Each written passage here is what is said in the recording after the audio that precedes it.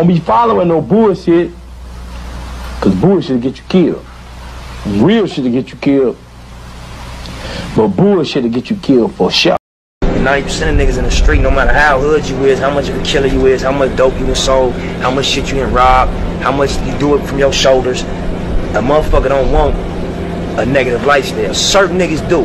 Very few, but 90% of motherfuckers, you know, they want something better for themselves. They just can't see an option. So, you know, I feel like as niggas that come from that element, come from that environment, it's our job once we get into situations like this to just make the options visible. You, you can lead a motherfucker to the, to the lake, but you can't make them drink. So I feel like your job once you become successful or semi-successful or get your foot in the door, just to game your niggas up. Tell them this, this, take that wall from in front of their eyes. You know what I mean? And just show them like you got options, you got other things you can do aside from risking your freedom to pay your bills or being stuck in the mentality of segregation and genocide, killing your own niggas, killing your own folks. Understand? It's like, what are you talking about? I'm not. Listen, man. Let me tell you something. I am the snitch remover from my hood. That was part of my sickness. That's what I did. So you couldn't come around me. I don't do all that with how people be saying. You got old, you got the the jeer people jeered at me, which is a fake word. OG. That's that's something that, don't mean nothing. That has no value to it. OG. That don't mean nothing. Uh tiny, little, all that. That these words, these terminologies don't mean nothing in gangs because they get broke every single day and they don't have no value to them. So if you 60 something years old and you still trying to be hard and like niggas ain't going by the code and all that, man, you need to be trying to say nigga gang banging was the dumbest thing ever in life. What are you talking about? You still haven't learned nothing yet? At 60 something years old, you still want to run around here talking about oh this and that. Well, nigga, the homies ain't got no loyalty, this and that. Man, that ain't nothing. You should be trying to tell people don't gang bang in no 24. You're supposed to be jumping on board with this. People want to talk about all this snitching. All this, this is what the sickness is. See, this is part of the sickness. These are some of the signs of the sickness that you're sicker than other. If you know that you told on somebody from your neighborhood, why are you still trying to come around that neighborhood? Please explain that to me. The moment you told, you should have known that was your exit to go do something else, not go turn another hood. not go turn another hood. Go do something else in life because gang banging is not for you. Let me explain something to you. What people say right now, what people is trying, you got a lot of these people. You got OGs, you got uh uh uh youngsters, you got uh podcasters, everybody is trying to elaborate what snitching is. Sick, snitching is a sickness that's part of your disorder. First of all, let's get that understood.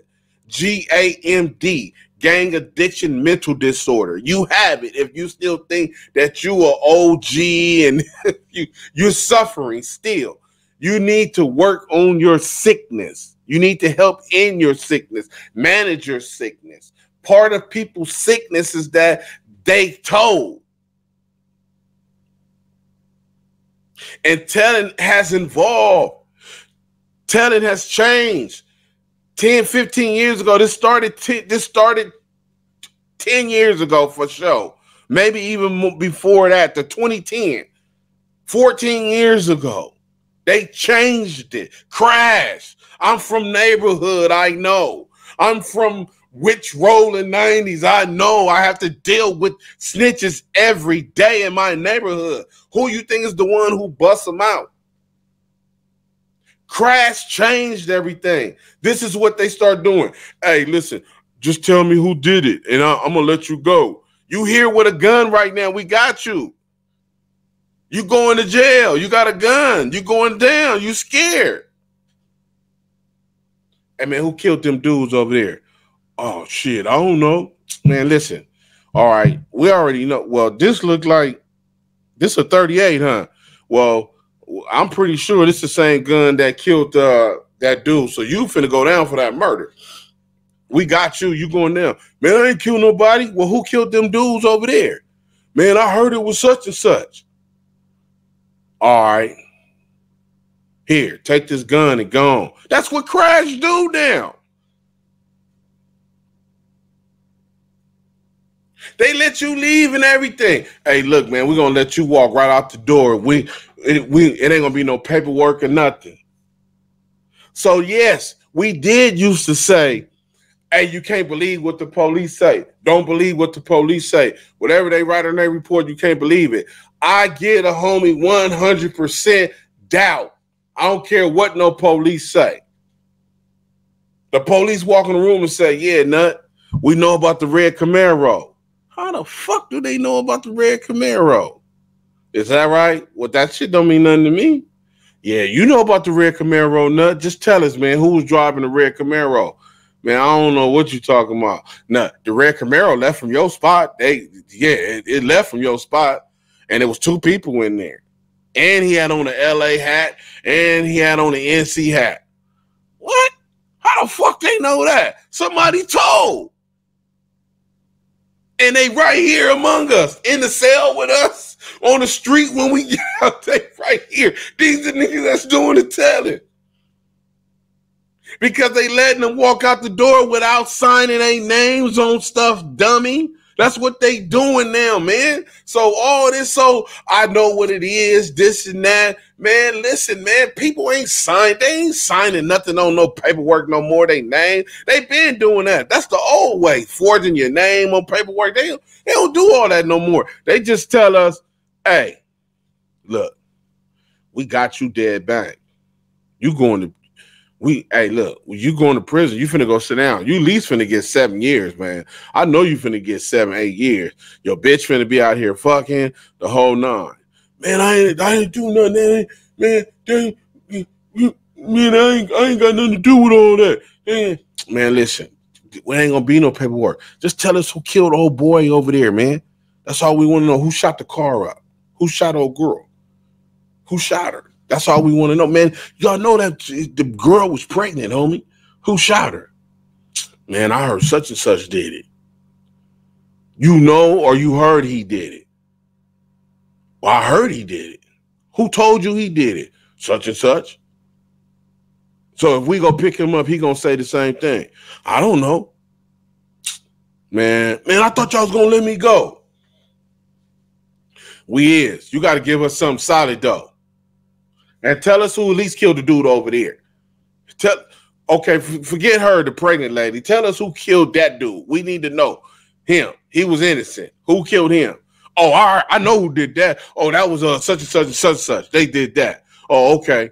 You know that for a fact. Yeah, I, I know that for a fact.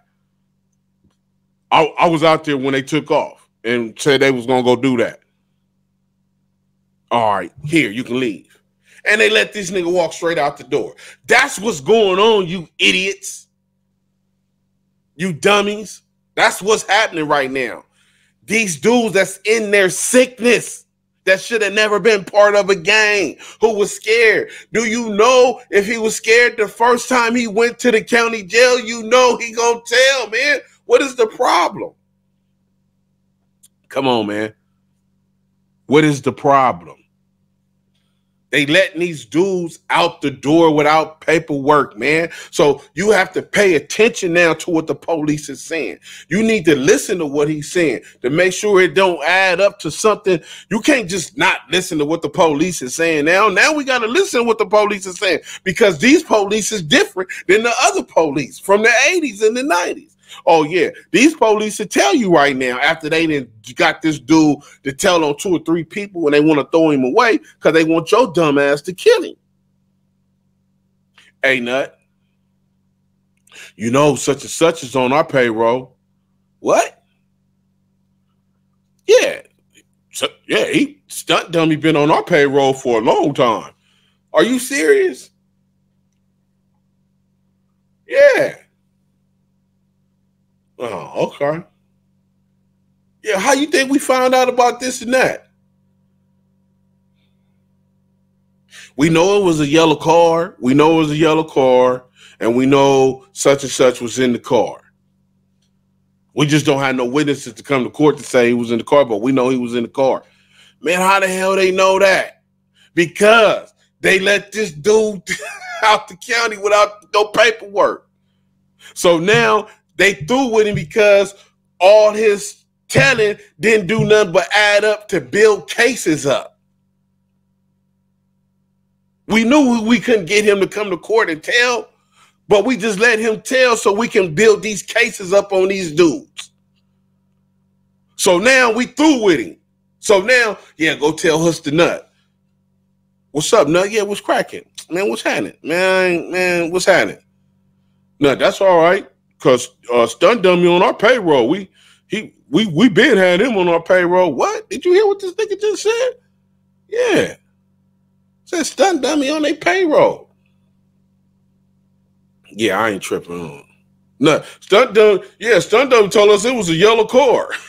you got to pay attention to that. What? Are you serious? Stunt dummy. Didn't you go? How, many times you been to jail this month? Oh, cause shit, nigga, what you talking about, nigga? nigga? Man, I thought you went to jail for beating your girl up too. See, people not telling you about all the private little cases they catching, man. And they get caught up with these polices.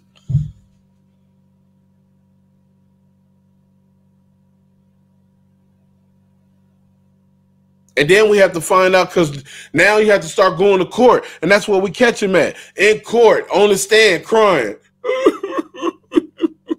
it was him. because now you didn't caught a big case and they can't let you go. So now you got to come give it up. And all the snitches start coming out. Now they start coming out one by one. Now they now start real. Well, he on the payroll too. He on the payroll too. But nobody did nothing to these dudes because guess what? He friends with the hundred thousand dude that got the followers that run the hood. So they hang out together. So nobody was gonna never say uh, him because he hanging with uh, a, million subscribers, the hundred thousand followers. He run the hood. Man, this is everything is disorganized, homie. There's nothing the same. Every generation is different. There's no such thing as a solid. This generation was, hey, cause our, our generation was, we, hey, homie, we didn't play that when we was coming up. Man, shut that shit up. All that shit is garbage, is delusion. It don't exist. It didn't do nothing but kill off black people. Look at all the death of the homies that was solid, that failed to people that was telling and busters and should have never been from the hood and he got the homie killed and he turned another hood and all this. They lives are meaningless, over, don't have nothing. They families out here running wild, nothing. And you mean to tell me you mad at me because I'm saying end gang violence? End the Crips and Bloods because it don't mean nothing. It's over with. This stuff need to end. You need to wake up and you need to be doing the same thing I'm doing. If your ass is 60 something years old out here talking about I'm a G, I do this now. I I know, hey, I don't I don't I don't I don't I don't mess with no niggas that's telling. If a nigga telling, I ain't fucking with him. I know. Man, what you talking about? You supposed to do something to him. That's your job. That's your job. What are you talking about? That's what everybody say. That's it, it, that's just to let you know that where our minds are at. Nobody mind is saying end gang violence. All these dudes that say I was at the table in the 60s and the 70s, you supposed to be the main ones to say stop gang violence. We don't need it no more.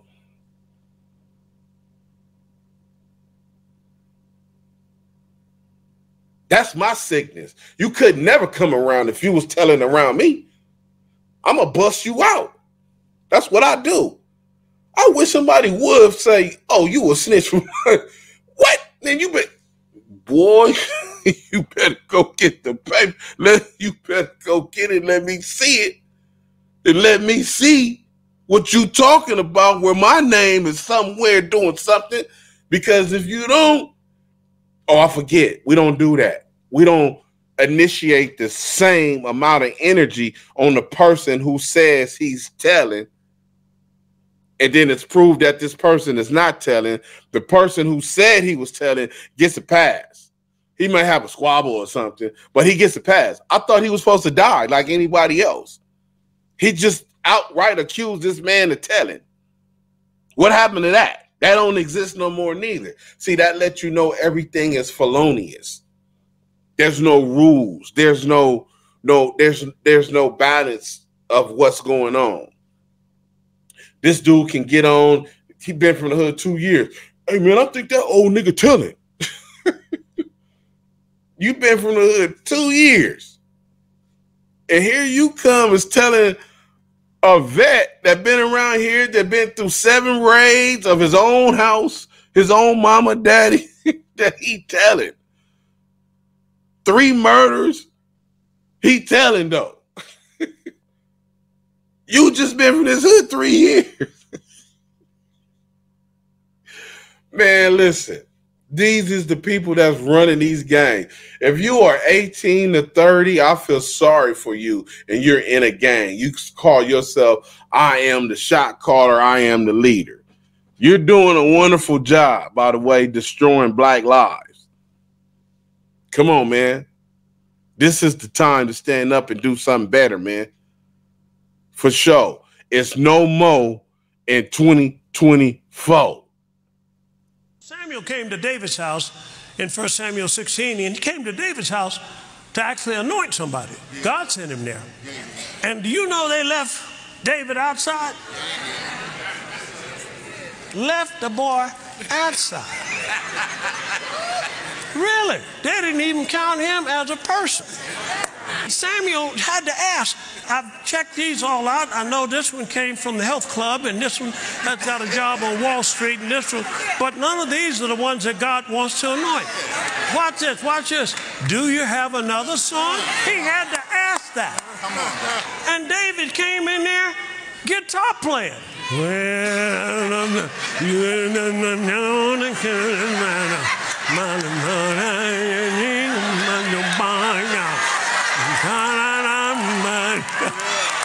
he said, This is he.